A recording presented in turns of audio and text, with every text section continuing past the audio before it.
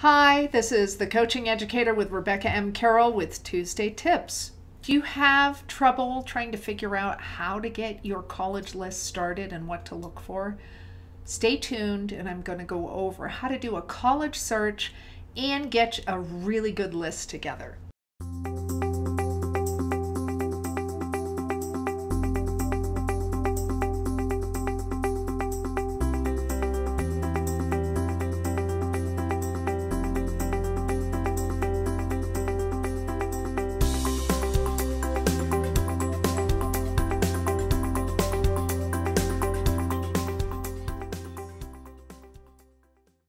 All right, let's start out with how to do a really good college search and make your list.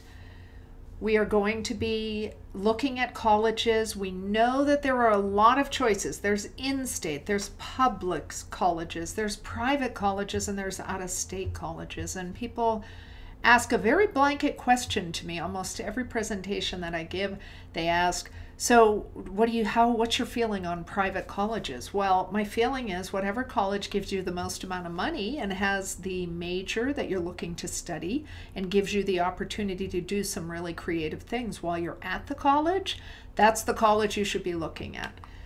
So let's narrow down what we should be doing. So first you want to try to do, if you're not quite sure what you want to do, you want to try to do a career interest survey or assessment.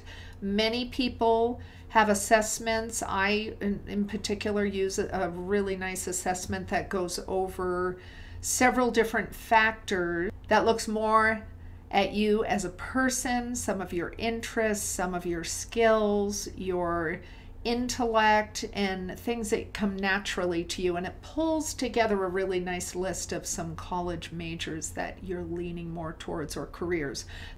So we use assessments especially when we feel that a student is not quite sure. Oftentimes some students are feeling like they should be engineers just because they're good in math and they like science. But that's not always the case. So I really encourage you to look at assessments and to take some you know, and you want to absolutely have a good understanding and knowledge and be able to answer what your grades are, what your GPA is, and what your test scores are, because that's really how you can look at are you going to fit into this specific college. And you want to develop what we call a key college criteria list and, and what matters to you as far as the college setting because you're going to be there for four years. So you want to kind of meet with professionals. That's another helpful hint if your parents or grandparents know people who are in a field that you're considering doing. I remember I had a student who thought he wanted to be a dentist and he ended up being able to volunteer at a clinic and decided that that is not what he wanted to do but he actually liked the science part of dental work and and helping people so potentially his goals and his majors ended up being more focused on public policy and being more focused on um, community service type jobs that you can have, nonprofits.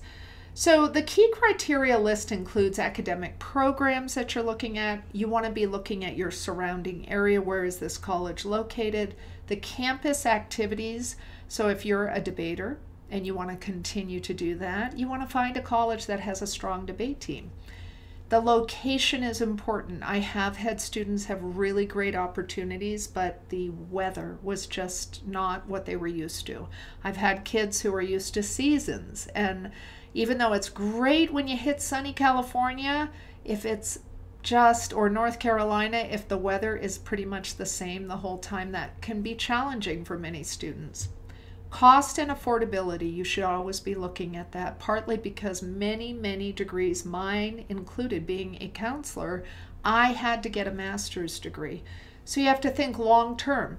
What I want to do, will I will it require that I get a master's degree? Many people get a business degree, but they don't realize that you really have to have a master's in order to be able to do certain jobs with your business degree.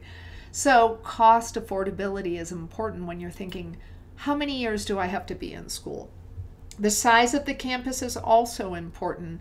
Make sure that you've visited and, and feel like you could actually attend a certain size. you know, these are the things that you want to prioritize and you want to know yourself. So these are the things that really matter. And you do your research and it takes time. And that's, you know, that's important for you to know. It's not a quick fix and it's important that you don't wait. It's important that you're actually doing this while you're in high school. So you want to uh, explore the college's websites you want to take their virtual tours. You want to review college search books. If they, many libraries have them, I know it's challenging to to get in a library now, but there are many college search books that you can look at. You can attend college fairs. I really like college fairs for ninth and 10th graders. I think they're a bit overwhelming, but at least it's bringing in the college knowledge and what they have to offer. You want to talk to alumni tap into your parents. Parents know people in different fields. Parents, um, you can actually look up on LinkedIn where people went to college and you can track people down. I know myself, I've had people reach out and say, Hey, you're an alumni of this particular college. Can you tell me what your college experience is?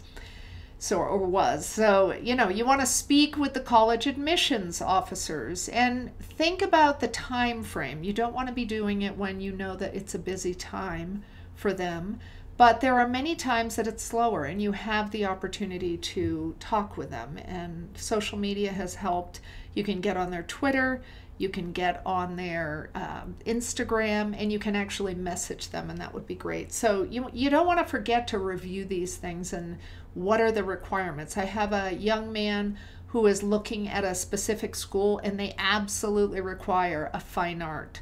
And his high school in the state that he lives in does not require a specific fine art in either theater, art, or music.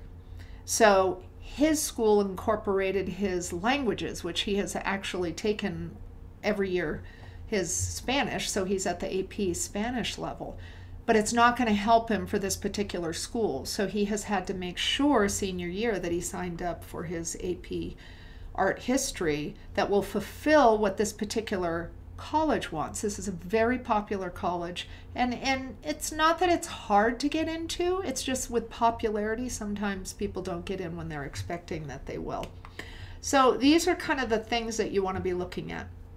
And when you are making your list, it is so important, number one, that you do not apply to 40 colleges. I just have never agreed with that. That means you're not actually doing a really good search. And when you do make your list, you want to make sure, and this is based on you, your scores, you're comparing it to their previous freshman class that came in. You want to make sure that you have a enough schools that you are absolutely going to be getting into your probable 75 to 80% chance of acceptance. Yes, you want to put some competitive schools on the list as well. You want to be able to, you know, where you know you have a 50 50 chance. Those two categories should be your largest amount of schools that you're applying to. Your reach schools, 25 to 30%, you should be putting one or two of these on your list where you have a maybe a 25 to 35% acceptance rate, especially if you're able to get a scholarship of some kind. There are very talented musicians that I work with, but that's not what they're studying. But there's a good chance that they'll get some money because they are a musician and they are willing to be either in the marching band and the wildcard schools, make sure that it's less than 25% of your list that you're putting on there. What the last thing you need is rejection letters from every college. So it's important when you're making your list, do not make it a, list that is really a list that doesn't fit your probability of getting into the college. So you want to make sure that your college choices are matching what you are capable of doing and that and that these are based on your scores and grades schools that you can get into or have a chance to get into. Many colleges are doing a form of a visit. They're keeping parents distance. They're a lot of them are having people do a tour with the car and within their car or they're having a scavenger hunt and it allows parents and students to visit colleges, but they are not necessarily walking them around in groups. So find out how your college is doing it. And they all have ramped up their virtual tours. I've been looking at a lot of tours lately, and there is there is much more than they used to have. Because the previously the goal was to get you onto the campus. It is important that you consider that all colleges know that it's challenging at this time, so I feel like they're doing a decent job accommodating it. So you want to be able to do that. If at all possible, you can sit in a class, whether, whether it's virtual or if you're actually physically there, that would be very important to do, especially if you're down to three colleges that you like all of them and you've received decent packages. So remember that your final visits oftentimes are in the spring as a senior because you do not have to sign on until May 1st. Give yourself an opportunity to do these things. It makes a huge difference. Talk to the heads of departments. I've had kids who are so connected and wanting to be at one college, and once they do an interview with the director of a particular program and they have their list of questions, it's changed their mind.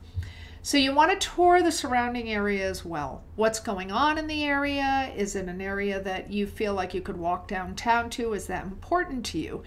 Do you have extra hobbies? Do you want certain things in a city or in a town that you previously had gone to that you want to continue to do? I have a lot of students who really enjoy ballet and dance of some sort. So they want to find a dance studio. So it's important for you to be looking at things like that. The other thing you want to do is, if possible, you want to plan to meet with a college representative. So generally, you can make that appointment to do your virtual tour or to do the tour on campus, however they're doing it. But you can also request that you meet with a representative ahead of time. And that's really important to do. But it does take time, so make sure you plan. Generally, they're two weeks out, so you need to give them a two week notice in, in order to get that accomplished. And don't be afraid to pick up the phone and call different departments. Make sure you have your list of questions available to you. That would be important.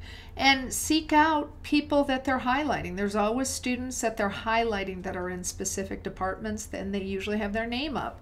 You can find those students, and it would be great to connect with them to find out their experience.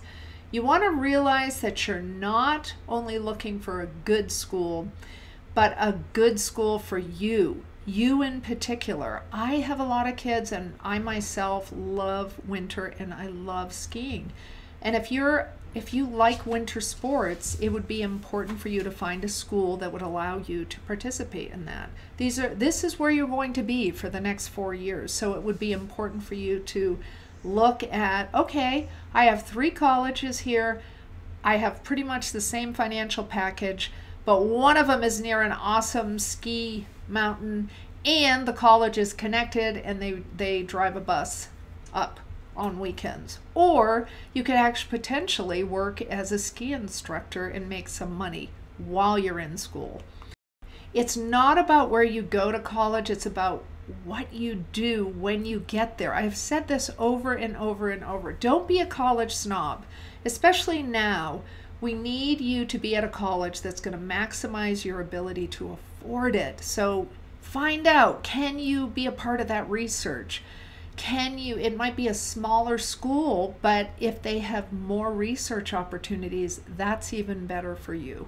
So make sure that you're looking at these pieces. How many opportunities are there for research? How many opportunities are there for you to participate? Even if you're you're interested in participating in sports, are you going to be able to do that? That's the important key to this. And you want to explore these campuses and find out. Get to know yourself as a person. That's where you have to kind of separate from your friends and think about you and what you are interested in because the next four years, it's going to be long if you're not happy there. Again, we're going to add a link where you can access our key college criteria list. It will help you make your key criteria list. Please access it. If you think this is a helpful video, please like and share it. And if you have any questions about how to develop that list, please feel free to leave a comment down below. Have fun making your college search. It's important for you to do this. Don't avoid it, and I'll see you next week for Tuesday Tips.